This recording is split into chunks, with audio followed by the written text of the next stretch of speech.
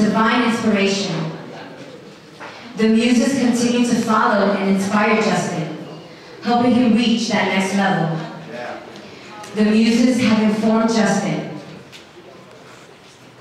that that next level has arrived.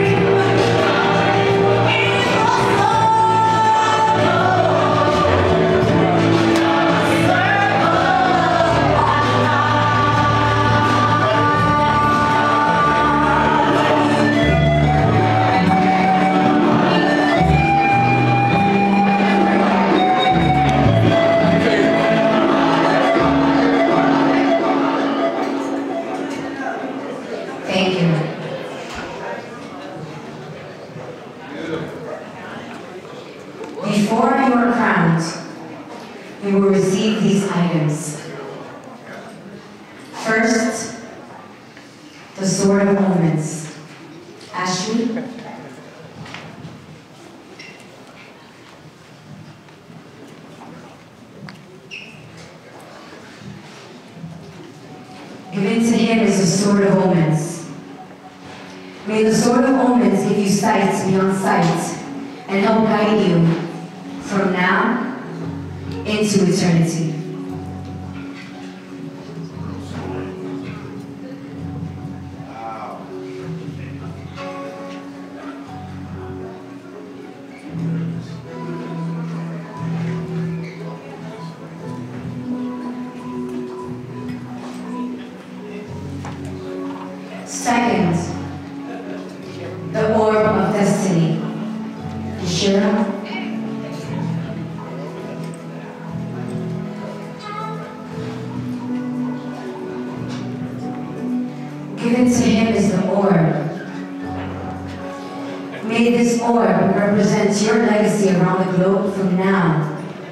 Into eternity.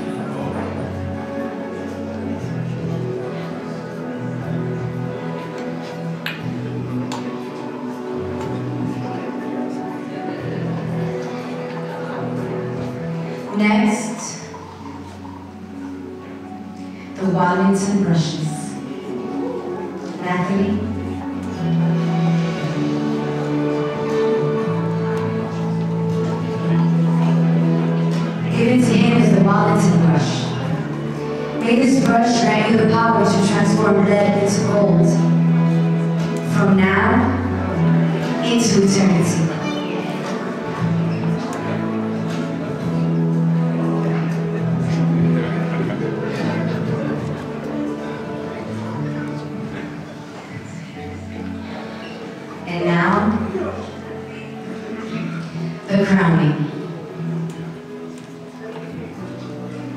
Would the muse please present the crown?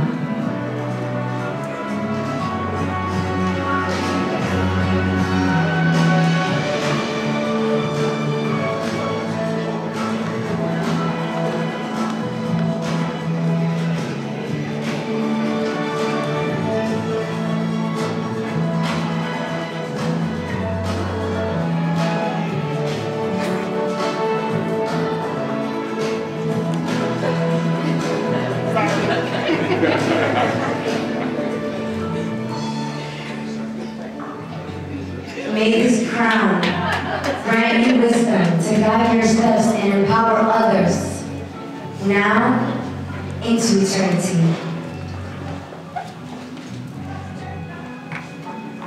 You have been crowned.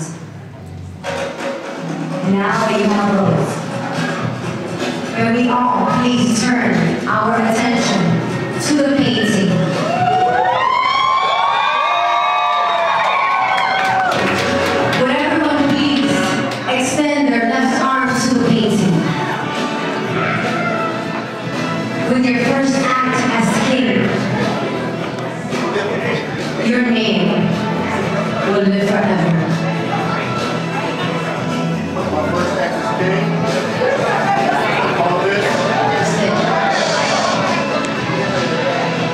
My first act as king, I shall call this the apotheosis of Washington.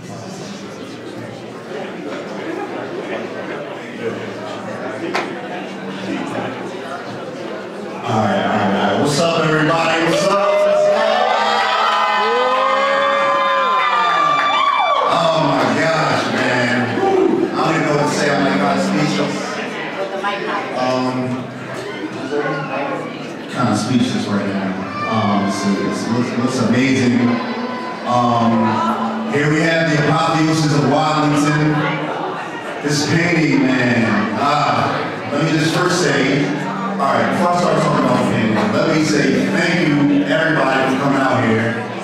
Uh, as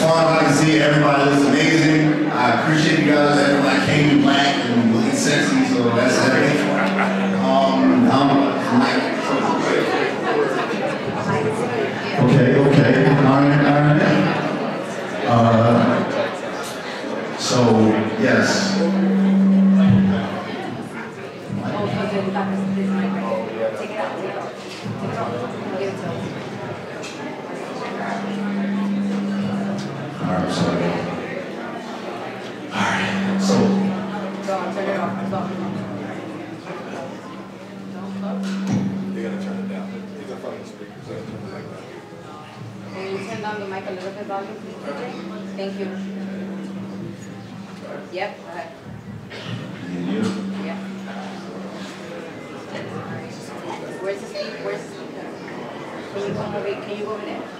No, over here. Testing, testing. There we go. It's clear. Okay, uh, apotheosis of Washington. All right, so where do I start? For one, I literally finished this painting yesterday at 10 a.m. Oh my gosh, uh, I started it back in August, and I literally finished it yesterday. Um, this uh, painting is, to me, an embodiment of a journey that I've wanted to embark upon at some point in my in my life. That uh, there were like many years where I, obviously, a couple of you guys know the story where I, I, I didn't see any path in art at all. Like I was just at work, kind of just chilling, um, not really seeing a, a direction. So one day I kind of had a, an awakening that uh, led me into me telling myself that I need to, you know, take something serious for once and uh, get focused and, uh, you know, uh, ignore the distractions, be able to uh, um, miss out on a lot of things in, in pursuit of uh, a, a worthy purpose. So over the years, I kind of just made a promise to, to myself to self-improve in many areas, and not just not art only, but uh, just reading a lot, uh, studying, um, researching, things like that. And because of that, I feel like that directly impacts what I create as an artist. So along those years, you know, I, I never really had a direction with the art, but I did know that I wanted to get better. And I, I always believed that if I got better, then inspiration would come along, come along the way. So fast forward, I, I do believe I had com- accomplished many things that I said that I wanted to do. I wanted to get my art, I wanted people to appreciate my art, I wanted people to come out to art shows. I wanted to, uh, you know, inspire somebody. I wanted somebody to, from another state or somebody to buy one of my paintings just to, just for me to feel like, okay, somebody really appreciates what I do. So um, all of that happened. And last year, I had an art show at the Flag Art Foundation, which is literally like right next door. Shout out to my man Glenn. Um, Glenn, yes, yes. Uh, Big G is what I call him. uh, and that art show was kind of like the final, the finale of a chapter in my, in my book. And after that chapter was over, I was like, okay, what, what is this next chapter? How do I improve even more than what I've already done? In my opinion, everything regarding improvement is for myself only. It's not to compete with anybody. It's not to say I'm better than somebody. It's like all an internal competition, you know what I mean? So first, first idea I had was the muses. I always knew about the, uh, the muses. The non-muses are basically goddesses of inspiration. And, and, uh, yeah, that's where the word museum comes from, and music, uh, things like that, all from the word muse. And I was like, all right, I want to, the, the best way to get inspired by muses is to paint some muses. And I was like, okay, how do I get nine beautiful women to uh, model for me, basically, or pose, or be a reference for it? And along the way, I met an amazing woman, Dejanay.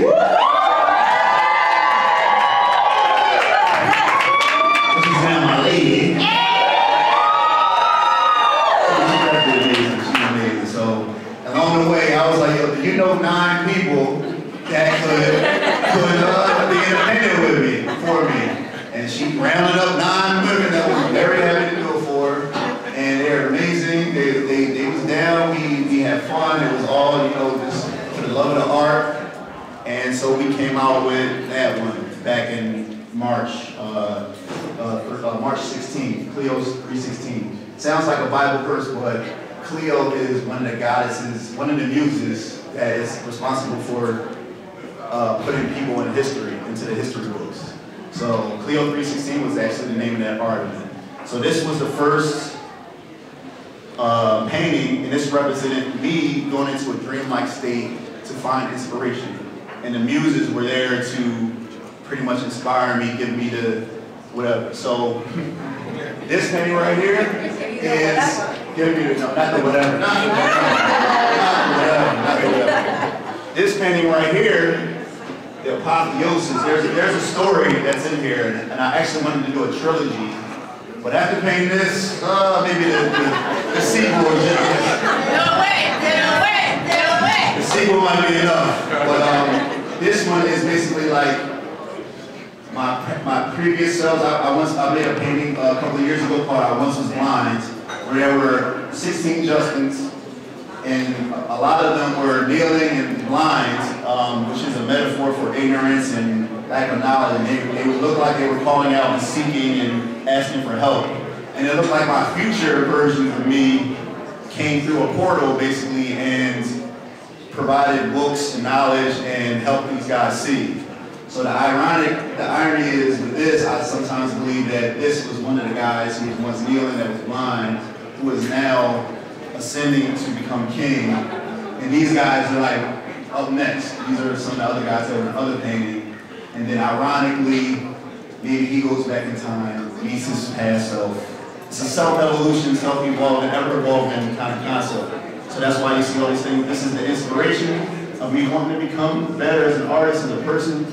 This is kind of like where I think I'm at now, the next level of what I'm doing. So I'm like, man, have a great venue and have great people here and just celebrate and have fun. So this is that. Thank you. And uh, we got? Okay. All right. Check, check, check, check, check, one for now. Let's do it. So shout out to my man Neil. One thing about what we do, right, is, which is crazy, is I'll make a painting and I'll call up Neil. Neil's a great.